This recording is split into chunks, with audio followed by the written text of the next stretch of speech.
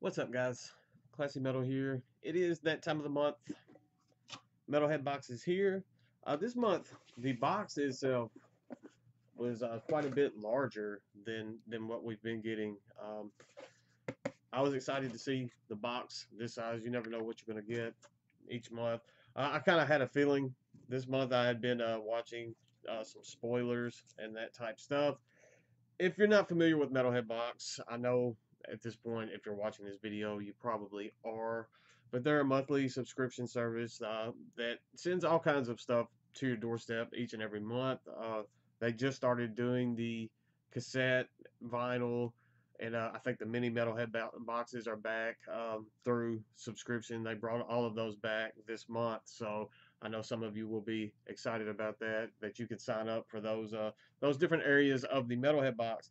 They throw all kinds of different stuff in there. Um, I do the regular metalhead box, and I do not do genre specific. I do the all metal option, and just because I like to be surprised, and I I don't really want to know uh, for sure, especially when you see spoilers everywhere. I like I like the surprise and, and kind of not knowing exactly what I'm going to be getting.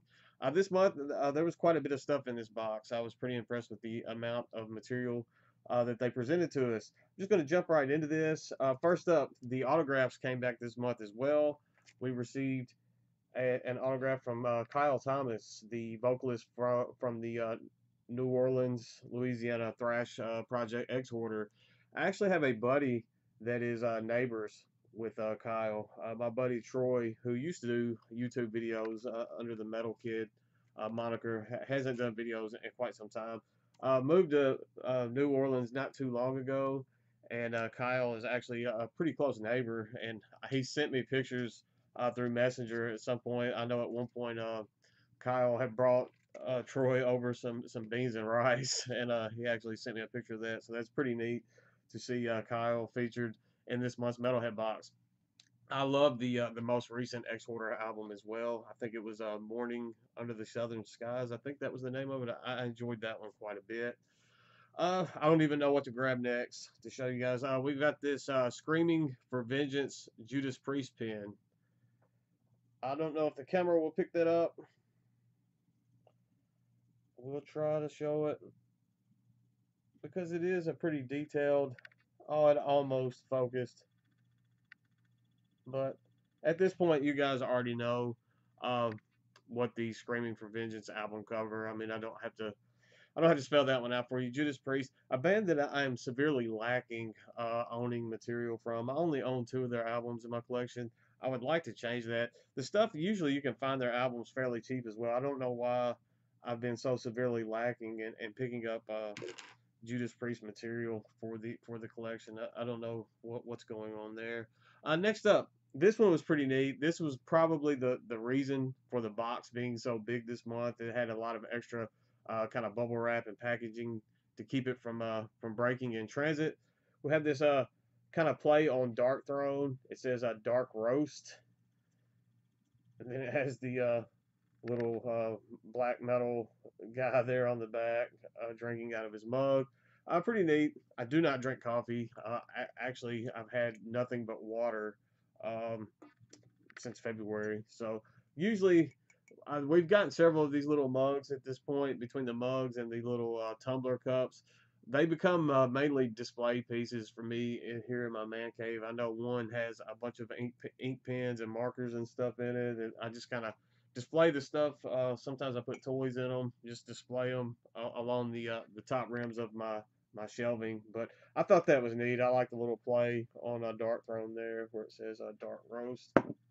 I got a patch from the uh, German death metal band Morgoth. Uh, I do not own any Morgoth either. That's another uh, area that I'm, I'm severely lacking. Uh, pretty solid. I enjoy their death metal. I did not enjoy the industrial uh, little thing that they did there, but as far as uh, their death metal uh, project uh, projects, I guess, go. I do enjoy that. They're no longer around as far as a, a band, but I did uh, I do enjoy Morgoth and, and probably need to add some of that into my collection as well. I got a sticker from the band Mortuous, uh, solid death metal on the uh, Tankcrimes uh, label with uh, Necrot and some other some other pretty decent bands. Uh, if you've not heard their 2018 uh, release through Wilderness, I highly suggest you do so, uh, especially if you're into death metal. It's one of the the better uh, death metal releases that I've heard probably in the last five years. So definitely uh, check that one out if you have not. Then there was this little promotional card from Carbonized Records.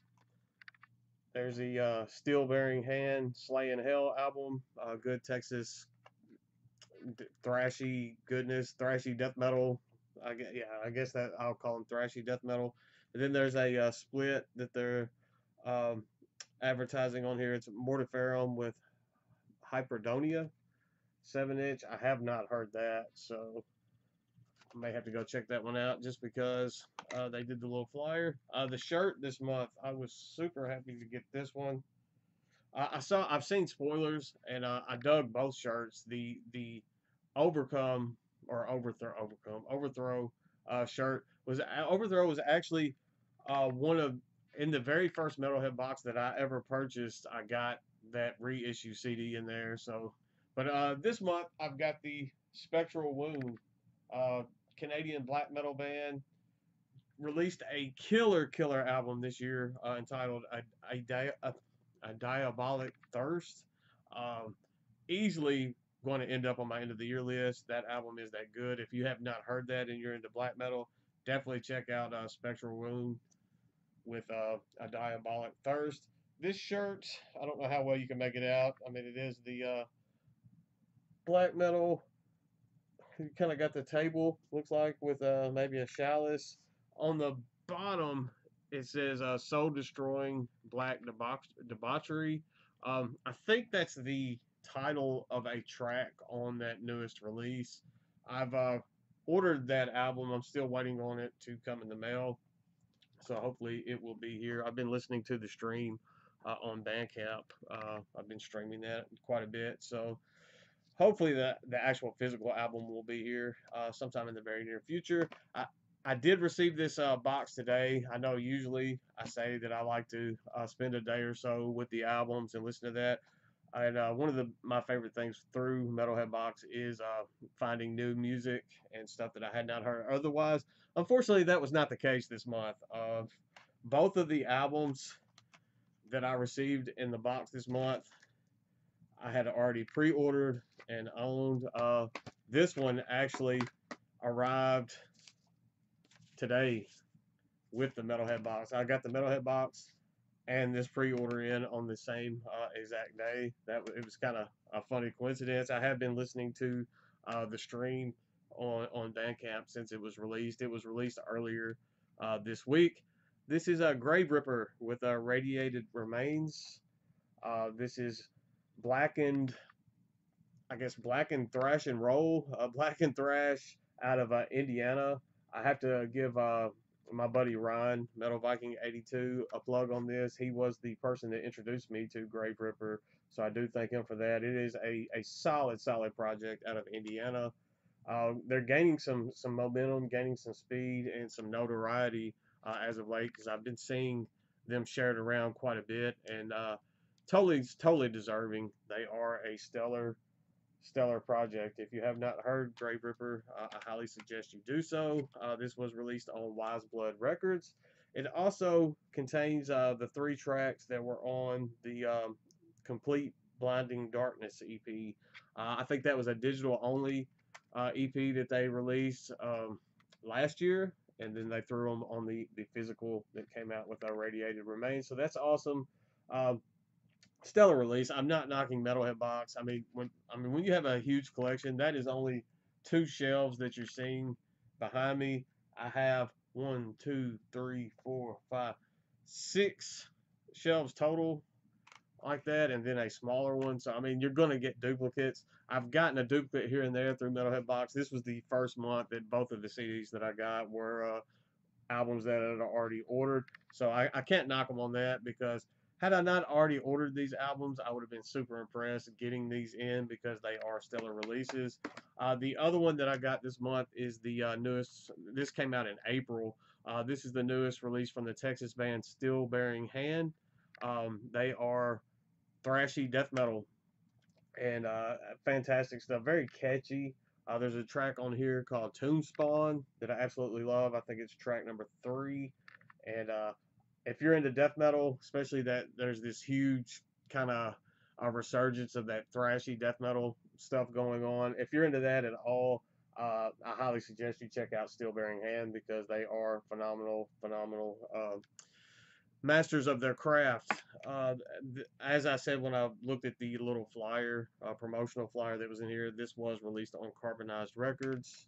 Good stuff here. Uh, if you want to check them out, check out the uh, Tomb Spawn track. I will link up the Bandcamps for both Graveripper and Steel Bearing Hand in the description. That way, if you guys want to check it out, give them a listen. Definitely go do that. Maybe support and uh, purchase your own copies from the bands. Uh, I'm not sure what I'm going to do uh, with these extras yet. Please don't jump in the comments and ask if you can just have them. I'll tell you right now, no. Um, I may put them up in the trade group. I may throw them on Discogs for sale. I may, I don't know. I may do a giveaway at some point. I'm not really certain what I'm going to do with these extras, but I will put them to the side. Um, I will also link up the Metalhead Box website. That way you can go check them out, check the different options they have on their boxes, and perhaps get your own box. Uh, for for the uh, for what you get, it's a phenomenal deal. Uh, it's a it's a I, I look forward each and every month to getting this box in the mail. So I was checking the tracking. I was having a rough day at work, and I was when I found out that it was being delivered today, it was a a definite little pick me up. So that's always a good thing to have a pick me up. And I will probably be wearing this one to work tomorrow because uh, just the simple fact that this this band put out such a, a killer killer release this year, uh, that is definitely the high point of this box for me this month. That's all I've got for today. Uh, thank you guys. I just hit 2,000 subscribers. I have blown past that. Uh, I am completely overwhelmed with that and I thank you guys very, very much. Um, I've got a little something that I'm working on. I'm, I'm trying to decide exactly how I'm going to do it, but I have I know at one point when uh when I hit a milestone on this channel, I did the uh, the Toe of Satan uh, sucker challenge. I have something similar in the works that I'm working on, and that will be coming up in the somewhat near future. I will I'll have to uh, get the logistics of that hammered out, and then I'll have that video up for you guys. Once again, thank you guys so much. Stay classy, stay metal. Check out Metalhead Box. Check out Graveripper. Check out Steel Bearing Hand. And I will see you guys very soon. I promise.